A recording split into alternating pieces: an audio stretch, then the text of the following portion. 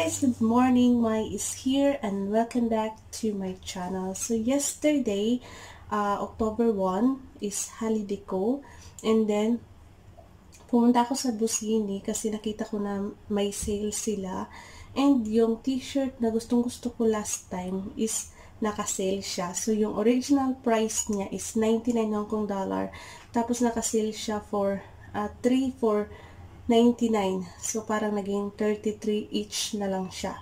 So, sabi ko, hala, gusto ko siyang bilhin kasi matagal ko na yung, ano, matagal ko na yung gustong bilhin last time. Every time na pupunta ako doon, hinihintay ko talaga na mag-sale. And parang nag-sale na sila kasi pa, pa ano na dito is pa winter na. So, yung mga t-shirt, i-aalisin na nila, diba?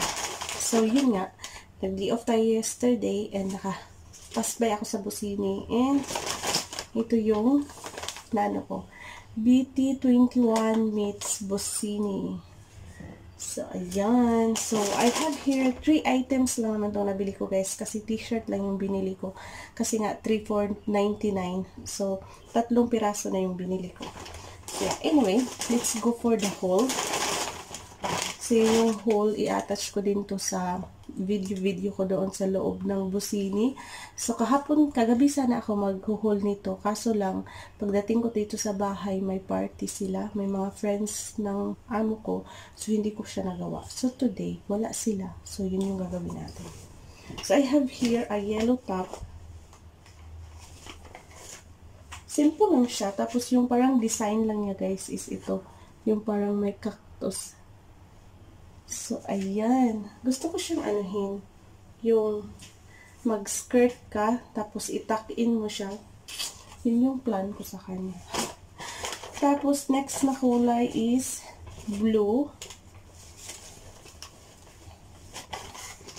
So, ayan. Parang anong merged. Anong tawag sa kanya? Tea time at Bossini. So, ayan. So, yun yung, yung original price niya is ito, guys. Ayan, oh.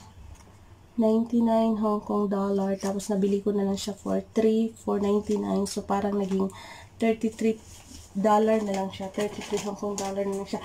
And, ito yung gusto ko. Yung nakalagay sa kanya is Find Beauty and Simplicity. So, ayan siya.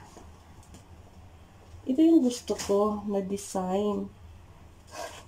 Kaso lang last time nung pumunta ako is yung price niya is 99 pa. Ayan. Kaya hindi ko siya binibili. So binalik-balikan ko talaga guys hanggang nag-sale siya ngayon. So nabili ko na siya. so ayan, white yung kulay niya. And gusto ko din to siyang anuhin, yung magsuot ka ng short tapos nakatuck in kahit malaki yung chan ko.